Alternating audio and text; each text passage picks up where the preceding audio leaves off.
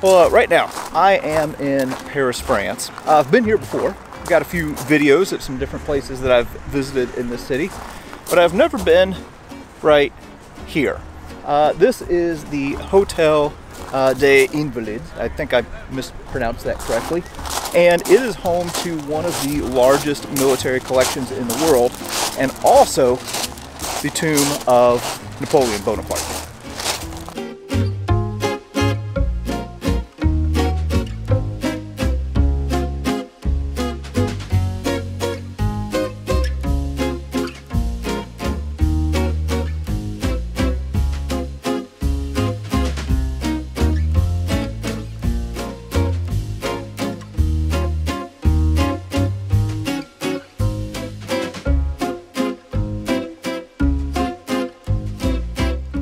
So this is the Hotel Les Invalides, and I don't speak French, and what French I do speak is terrible. Uh, so anyway, I'm probably mispronouncing that. But anyway, uh, this was built at the behest of Louis the 14th. And uh, the, the, reason behind it is he was pretty sensitive to the fate of the military uh, servicemen who had served in his campaigns. So he decided to construct this huge residence that would be big enough to hold all of the officers who had been wounded in war or were elderly or frail. Uh, so construction began in November of 1671 and the first disabled soldiers uh, took up residence here in October of 1674. So it only took three years to build. There's a, a, big court that's behind here, and then of course the, the structure that dominates the whole thing is this cathedral. So we're going to go in and uh, take a look around because uh, this is not only a historic structure, but it also houses a huge military museum and is the final resting place of Napoleon and some other pretty well-known figures. All right, well, uh, we just got in here and uh, got into the main courtyard and holy smokes, there is artillery everywhere. Uh, so we're going to take a look at that here in a minute. But full disclosure, uh, this was kind of a last minute decision for me. I had some other plans, those plans fell through, and then I made some more plans and those plans fell through too. So I, have never been here before, so we decided to come and check it out. Uh, so anyway, we're, we're just going to kind of be exploring and, and, seeing things together in this video. All right, so uh, as I mentioned, there are cannons everywhere in this place. And I'll tell you what, when the French wanted to kill you, uh, they, they wanted to do it in style. Uh, there are all kinds of interesting designs on these artillery pieces. Uh, so we'll just look at a, a few of them here. Uh, during the Middle Ages and Renaissance era, uh, you know, a lot of these artillery pieces would be decorated with like a coat of arms or a motto or an emblem to show not only who they belong to, but also to assert the, the power and wealth of the sponsor. So, for example, uh, this one here, you can see the F. Uh, that indicates that this belonged to Francis I, uh, who was King of France from 1515 to 1547. Uh, it was under his reign that Jacques Cartier uh, does a lot of his exploration, like along the, the St. Lawrence River. Uh, and then back here, this, this salamander is the, the emblem for Francis I, which is interesting to me. Here's an interesting one that has a little bit of this twist design on it. This is another one that belonged to Francis I. Uh, again, back here we see his salamander, and there's also a, uh, a Latin phrase on here which uh, translates to uh, I feed on the good fire and extinguish the bad. Here's another intricately designed cannon that was made during the reign of Louis XII. Uh, you can tell from the, the lilies here on this piece. Uh, Louis XII was the, uh, the king of France prior to Francis I. Uh, Louis XII died without an heir. Um, so Francis took over. Francis was his first cousin once removed and his son in law. So you can figure that out for yourself. Now, this one might be my favorite so far. So this is an Algerian cannon, and they started kind of borrowing some of the design from the French, hence the lilies. But what I like about this is it's got this like reptile that's belching out cannon fire from its mouth. Uh, that is really cool. Now, this one is really cool to me, and I'll show you why here in a second. Uh, here we have the coat of arms of the Archduke of Austria. Uh, this cannon is from the late 1500s, and as we advance on, it has all of these designs. Uh, well, I said that this is my favorite. It's not because of this. It's not because of all the naked hairy men that are attacking each other, uh, but it's because of this. Um, so this is a lark that is adorning this cannon, and uh, the the words here are from a, a Germanic um, myth where the lark is proclaiming this motto that says, "When my song rises in the air, many walls are demolished by me. So, in other words, when when this cannon starts singing, things start breaking. And I'll tell you what, these things are cool as heck, and I'm learning a lot as I go through here. I uh, got a couple like little siege mortar things here, and look at this one. Look at this squatty little thing. This might be one of my favorites yet. That thing is just cool. I kind of want one of those. I put that in my backyard and turn it up on its end and use it to make homemade ice cream. that is just one of the coolest pieces here.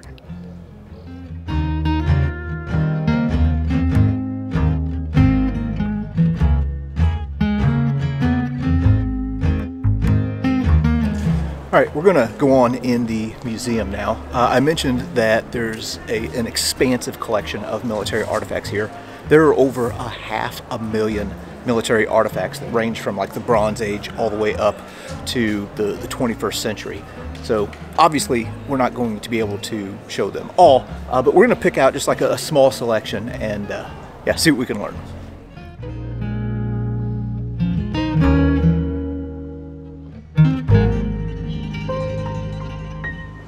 All right, I just got into the military museum and uh, this particular part covers all kinds of military gear from uh, Louis XIV all the way up to Napoleon. So we're talking 1643 into the 1820s. And I can tell you right now, there is a 0% chance that I'm going to be able to show everything in here, but we're going to catch a few highlights, just some things that catch my eye. All right, now, of course, the thing that's going to catch my eye, of course, is going to be the firearms, and I want you to take a look at this thing right here. Uh, this is a Rampart musket from the 1690s. It's a, a flintlock, and look at the length of this thing. Uh, this is 3.7 meters long. I don't even know how you would shoot this. Like if you shouldered this thing, it would feel like you were looking down a telephone pole or something. Uh, they also have this blunderbuss here that would be used like in ditches and angles in fortifications. Pretty cool weapon. And this is something right here that I've never seen before. Uh, this is a grenade launcher from, uh, let's see, the 1700s. It's got this spike that you would dig into the ground to absorb the recoil. That thing is really cool. Yeah, this is very, very fascinating. All right, got a few more weapons here. Uh, but what I really wanted to focus on is uh, this guy over here. Uh, this is Count Gravier de Vergennes, and you may not have ever heard of him, uh, but he was head of the Foreign Office after 1774 in France and was a great friend to the United States. He was really opposed to British power and uh, helped the American colonies fight their war of independence. Uh, he favored Lafayette and uh, sent a lot of weapons to the insurgents. Yeah, interesting. What in the heck is going on here? Uh, a little sign said that this is an eight shot matchlock rifle. And wow. That is weird. I have never seen such a thing. Now, you knew that at some point we would have to talk about Napoleon Bonaparte and take a look at some of the artifacts that they have in this museum. This is really incredible. So, this is a hat that belonged to Napoleon. And then, if we look here, this uniform that we're looking at uh, was worn by Napoleon at the Battle of Marengo in June of 1800. Uh, they also have some swords that belong to him. Um, this set of pistols. And then they also have another set of pistols over here that belonged to Napoleon. And then these swords were also his. Yeah, that is incredible. Here we have probably one of the more famous paintings of Napoleon when he became emperor. And uh, also here in this room, they have the frock coat made completely of silk or silk velvet of one of his close confidants, a guy by the name of Marshal Lannes. Now, this is pretty interesting. Uh, this is an Arabian horse that was gifted to Napoleon by Selim III, who was the Sultan of the Ottoman Empire. Uh, and after the horse died, well, he was mounted. Uh, here you can see the, the brand of Napoleon. And then it was kind of lost for a while and was rediscovered during the Franco-Prussian War. And, uh, yeah, now he's here. Interesting. Alright, uh, moving into another section where they are showing some French armor, and take a look at this.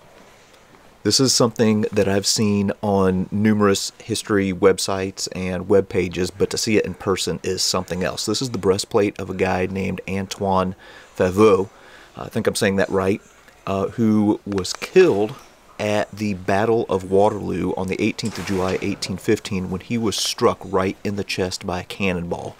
Here you can see uh, both the entry and the exit. Man, that is something else to see this in person.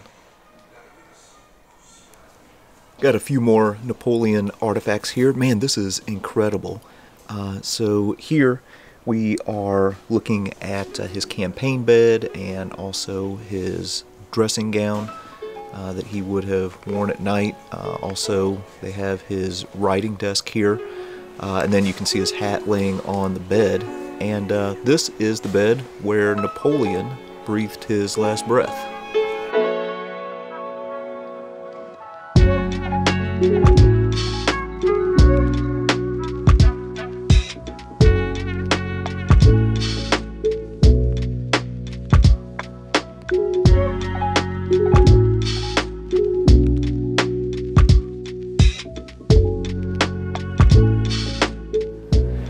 All right, well, that was exceptionally interesting. And uh, as I mentioned earlier, there's over half a million pieces here. Uh, they have a big collection of World War One, World War Two. Uh, but since we're coming off some of the Napoleon stuff, I think we're going to go in here and take a look at the final resting place of Napoleon Bonaparte.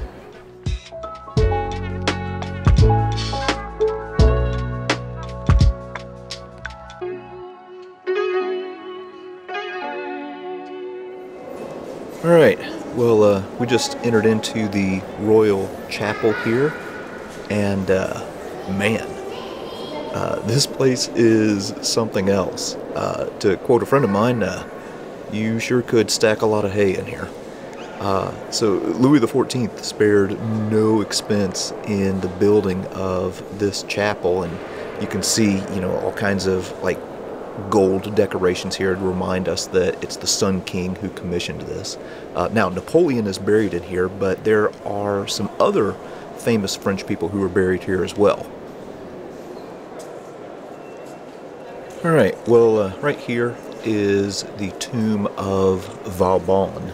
Uh, this was a military engineer and Marshal of France who worked under Louis XIV and was considered to be like the greatest engineer of his time. A lot of fortifications in France were built um, under the command of, uh, of Vauban. Also laid to rest here is Ferdinand Foch, who was the supreme Allied commander during World War One. Uh, this guy was a hero of France, hero of the First Battle of the Marne. Uh, as the, the Germans were advancing, uh, he, he has a quote that I absolutely love where he says, uh, My center is yielding, my right is retreating, situation excellent, I am attacking. And this, this man, uh, as I mentioned, was a, a, hero of France during the First World War, uh, would accept the uh, German surrender in November of 1918 and uh, is laid to rest right here.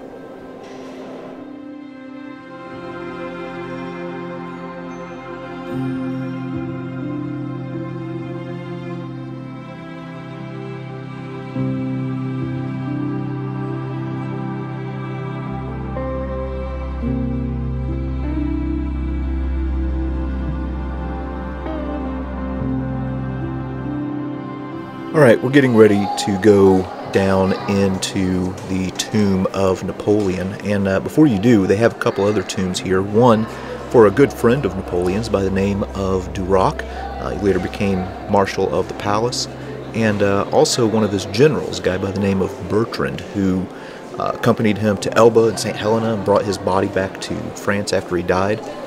And then you have this door that leads down to the crypt, and uh, there are statues on either side, one holding the uh, crown of Napoleon, the other one holding an imperial orb and a sword.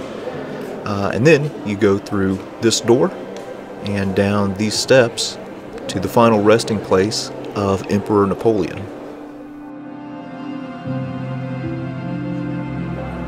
Well, right here is the final resting place of Napoleon Bonaparte. And uh, before anybody cracks any jokes about his height, I, have seen some history sites that say he was like five foot two, which is completely ridiculous. He was about five foot six, which was average height. And uh, you can see the sarcophagus is resting on top of a big slab of green granite. And um, the, the sarcophagus actually has like a nest of five coffins. One of them is made of iron, another of mahogany. Uh, there are two that are made of lead, and then one of ebony. And inside uh, rests Napoleon. He's dressed in his colonel's uniform, uh, has the, the sash of the Legion of Honor, and his hat is resting on his legs. And this is probably one of the more visited places in Paris, and for good reason. Uh, the the man is uh, a legend, and rests right here.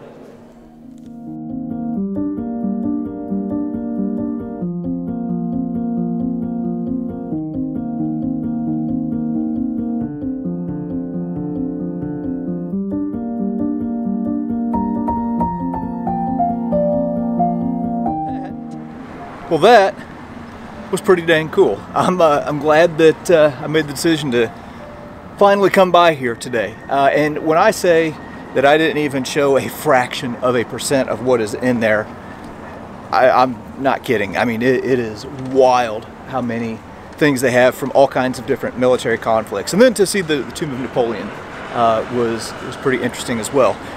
Napoleonic Wars is something that my knowledge is only really surface level, so uh, this, this makes me want to buy some books and, and learn more. But anyway, that was the uh, Hotel des Invalides.